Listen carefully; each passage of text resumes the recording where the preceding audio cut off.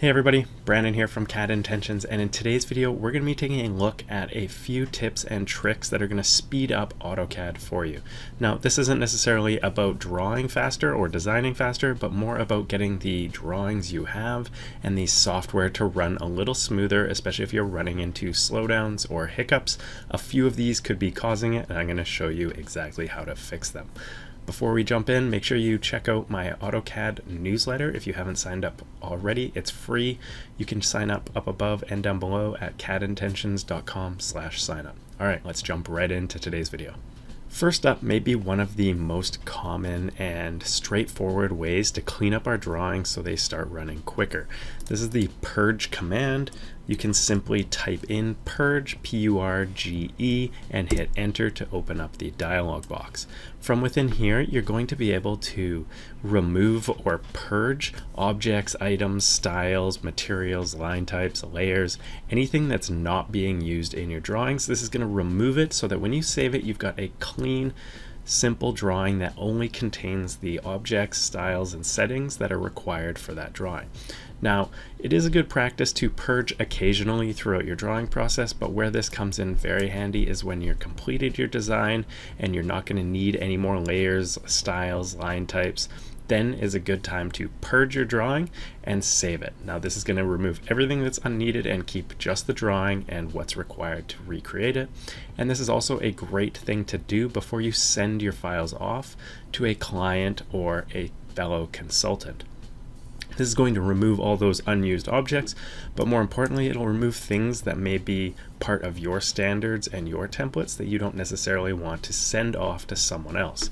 So in this purge menu, you're going to be able to hit the check mark here to automatically check everything. You can also just click purge all, and this is going to purge everything in the drawing, as I mentioned, that's not being used.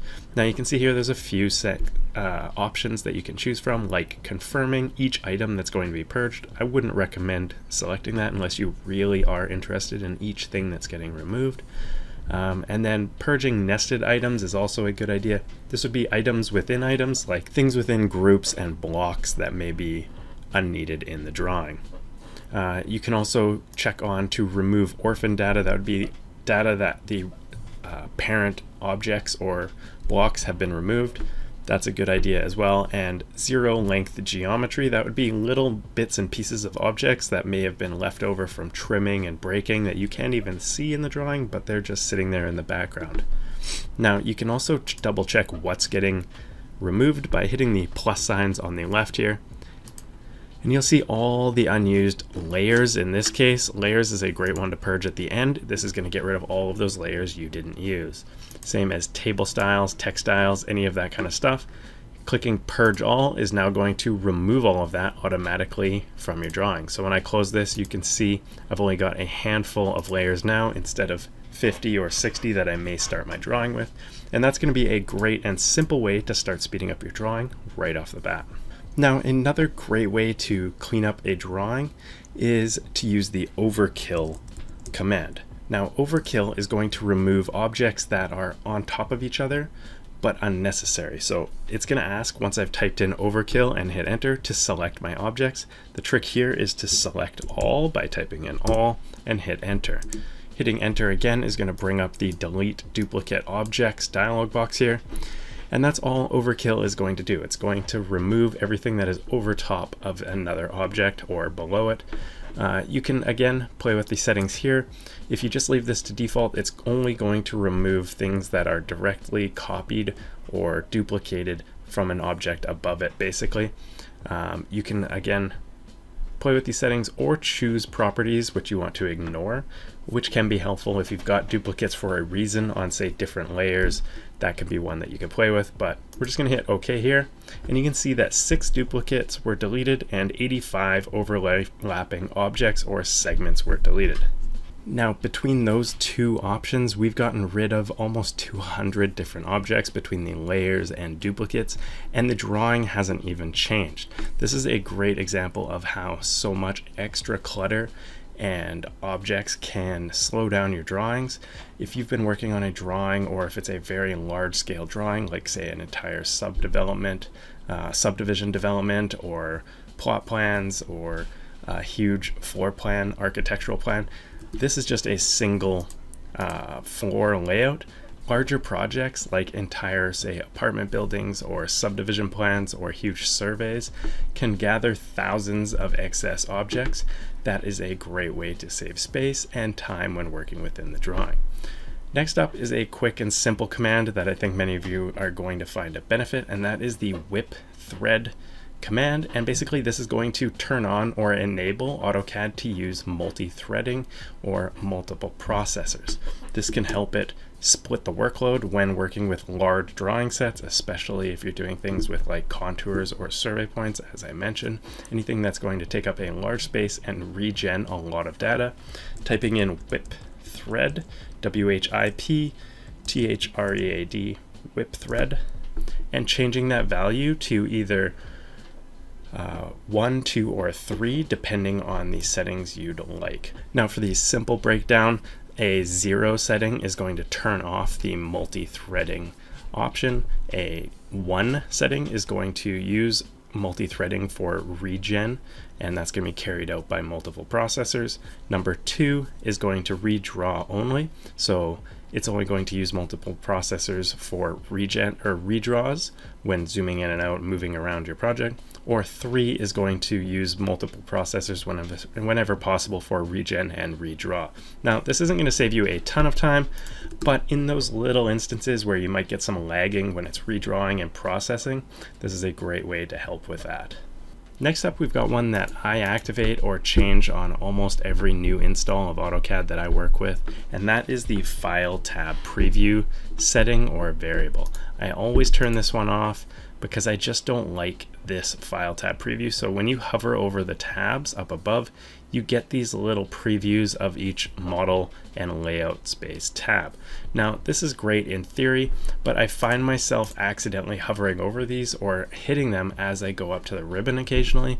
And when you're dealing with very large or complicated designs and drawings, if you hover over one of your other drawings that's not open, it can lag, freeze, or accidentally switch you to that one while you're really just trying to activate a command from up on the ribbon. I find this happens more often than I'd like, so I typically will turn off this preview, and you can do that by typing in File, Tab, Preview, and hitting Enter, and changing that, set, that setting to zero to turn it off. And once you've done that, you'll see that the file tab previews don't show up. And I find that this little dropdown doesn't activate nearly as often. And it also doesn't require the processing power to render that little preview of your other files. Next up, Another great way to speed up the software and run into less little lags along the way when you're designing is to turn off the snap options when you don't need them. So you can turn snap on and off by tapping F3 and that's what I'll tend to do is I'll just turn it off completely if I'm not needing it so I'm not accidentally snapping to things when I'm moving objects or drawing unless I need to and when I need it I'll tap F3 to turn the snaps back on. Now another way to help with these uh, not arbitrarily snapping when you don't want them, is to click the little flyout button here and only turn on these snaps that you're actually needing.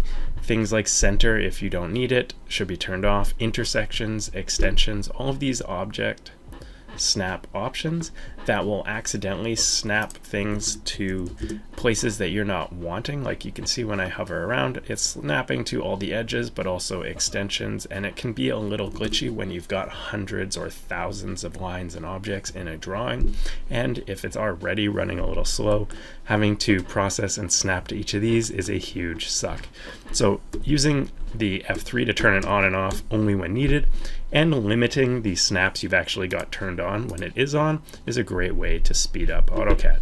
Similarly, I almost always leave the 3D snap off, but if you've got that on, that's one you definitely want to want to turn off even if you're working in 3D, only turning it on when necessary is the best way to work with that one, since it will slow things down. And when you're snapping to different objects in the Z coordinates, that can really lag things, especially when you're copying them around in your drawing.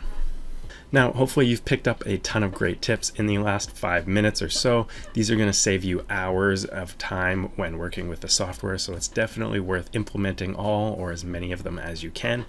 As well, other great tips typically include things like splitting out the objects in your drawings into multiple different XREFs and drawings. Not only is this going to make them easier to edit for other users so that multiple people can be working on the project at once, but it also gets this line work out of your main base drawing and into separate ones, breaking things up into smaller drawings called XREFs and then referencing them into your final drawing is the better way to go for most projects. It's going to allow you smaller separate CAD files and prevent things like not having the ability to have multiple people working on the, same project, as well as a bit of redundancy in case you were to ever lose any one file due to corruption. You've got the other XREFs that make it up, and it's typically not as much time lost.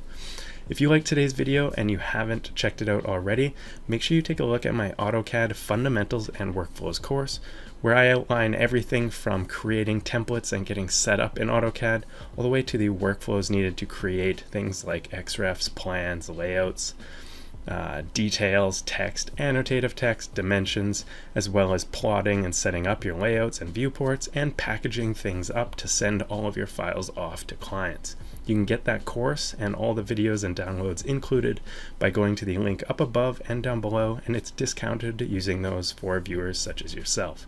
If you haven't already, don't forget to subscribe to the channel, and thanks for watching. Have a good one. Cheers.